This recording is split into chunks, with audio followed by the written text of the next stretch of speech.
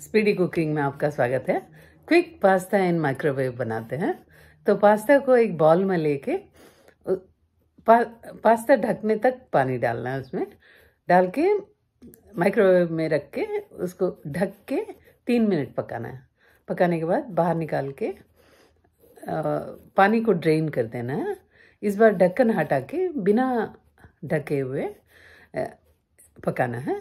और इसमें pasta sauce डालते हैं, दो टेबल स्पून और अंदाज से अगर ज़्यादा पास्ता है तो और ज़्यादा डालिएगा।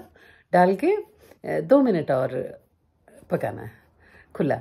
पका के बाहर निकालना है। उसके बाद fresh basil and mint leaves को चॉप करके डालना है। साल्ट एंड पेपर थोड़ा डालना है। और ग्रेटेड चीज़ डालना है। बहुत फट, झटपट, बहुत ही टेस्टी बन जाता है।